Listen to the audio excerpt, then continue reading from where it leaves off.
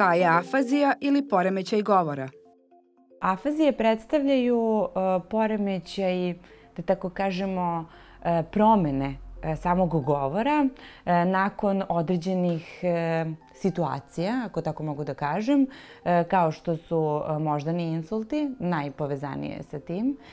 Zatim, nakon tumora na nivou centralnog nervnog sistema, brojnih trauma od kojih su najčešće saobraćene nesreće, zatim afazije koje nastaju kao kao simptom u sklopu neurodegenerativnih bolesti.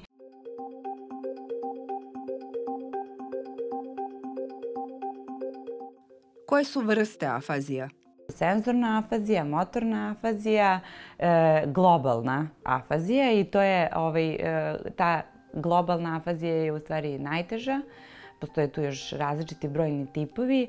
E, globalna je ta, to bi bio taj neki, da kažemo, gubitak govora, gde vi e, niste baš u situaciji da komunicirate sa samim pacijentom, dok su motorna i senzorna e, malo drugačije. E, motorna podrazumeva nemogućnost pacijenta da se izrazi motorna, znači sam sam mišić odnosno mišićni sklop koji je zadužen za produkciju govora ne funkcioniše kako treba, a kod senzorne afazije imamo suprotno tome, e, faktički ono što pacijent izgovara nije u skladu sa očekivanjima šireg socijalnog okruženja.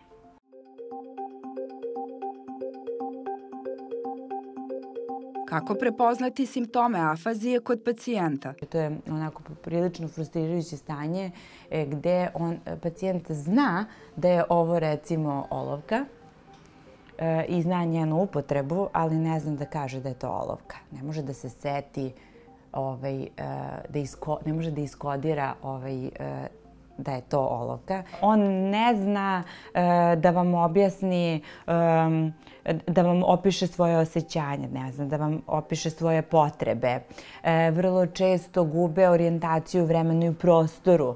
E, samim tim ne mogu da uhvate određen ritam u toku dana. Znači, pored tih jezičkih postoje kognitivne tegobe, postoje tegobe sa ozbiljnim snižavanjem nivoa pažnje i koncentracije, e, zatim memorije, koja nam je veoma važna za, za samu rehabilitaciju, jer nam je to neka tamo fioka za punjenje svih ovaj, znanja koje su nam potrebna. Tako da afazija je jedan uh, poremećaj koji zahteva multidisciplinarni pristup, te da nije samo problem u govoru, nego i u kogniciji, u pažnji, koncentraciji, mišljenju, memoriji i tako dalje.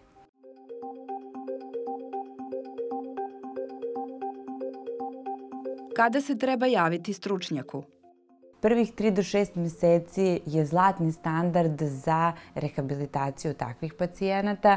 Sve što probijemo nakon, nakon toga je mnogo teže i mnogo sporije jer mozak je na, ima najveći e, stepen re, e, da kažemo rekonstrukcije i vraćanja na prethodno stanje baš u tim prvim mesecima, odnosno prvih pola godine nakon poremećaja.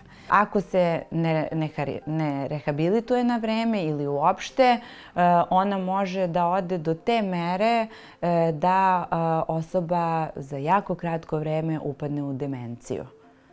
To se mnogo češće dešava kod starijih osoba, ali poslednjih godina vi imate veoma mlade ljude koji ukoliko ne prihvate rehabilitaciju ili nemaju mogućnosti ili već dešava se ovaj, mnogo stvari različitih uzroka, um, upadaju u demenciju i tu faktički se bližimo nekom kraju koji baš i nije dobar.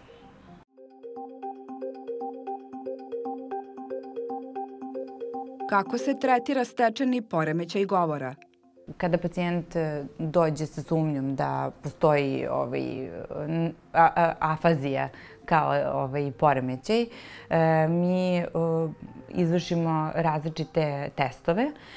Jedan od, jedna od metoda koja se već dugo koristi i za koje možemo da se pohvalimo i u našoj ordinaciji da radimo jeste neuropsihološka diagnostika i rehabilitacija, gde imamo čitav niz testova koji u odnosu na godine, na populaciju, na obrazovanje e, izaberemo i na taj način e, izvršimo testiranje.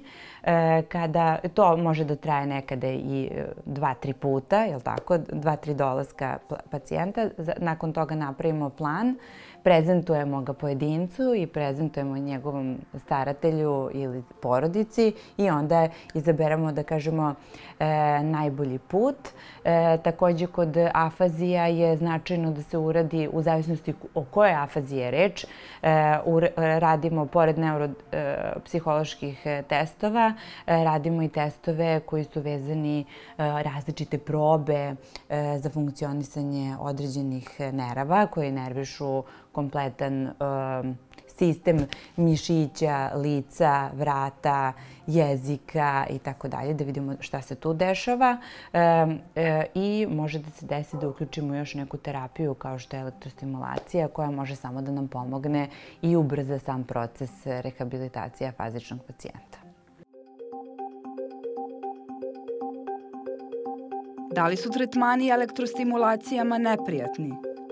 Mnogo ljudi misli da je to nešto opasno, da, ta, da to boli, da nije dobro, posebno kod, kako govorimo kod dece, odrasli, kod odraslih nemamo tu tegobu, ali što se dece tiče, roditelji se plaše da li će to da ostane neke posledice na na mozak, da li može e, da dete nazaduje od toga i, i ostalo.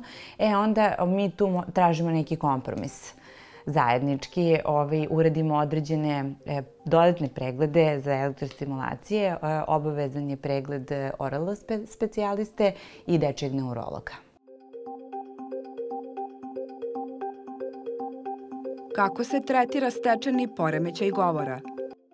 Pored toga što pacijent najčešće ima svoju redovnu terapiju koju uzima svog ordinirajućeg e, doktora, e, što se tiče e, govorno-jezičkog problema, odnosno te goba koje treba da se reše, najčešće su preporučene logopedske, terapije i terapije neurolingviste ili psihologa i u odnosu na sam stepen, na vrstu afazije se preporučuju određene vežbe. Učimo pacijenta da svakodnevno vodi određeni dnevnik, šta radi kada ustane, šta je radio posle toga, da li ide u šetnju, ide u prodavnicu. E, tu nam je veoma značajna podrška porodice, e, jer afazični pacijenti najčešće nisu u stanju da samostalno vode takvu vrstu uh, rehabilitacije. Što je još veoma značajno kod, za rehabilitaciju klijenata sa, sa afazijom, ubacivanje ruke. Zašto je ruka važna? Zato što zone za produkciju govora i za finu motorike, motoriku šake se nalaze vrlo blizu jedne druge u moždanoj reprezentaciji i ukoliko jednu jednu zonu, odnosno jednu sposobnost zanemarimo, ova druga isto ne može da se razvije kako treba. Tako da stvaranjem sinapsi između jedne i druge zone svakako stimulišemo samom rukom, korišćenjem ruke, precrtavanjem određenih figura, zatim podučavanjem u nekom momentu e, čitanja i pisanja, apsolutno. E, mi stimulišemo na takav način i vraćanje govora.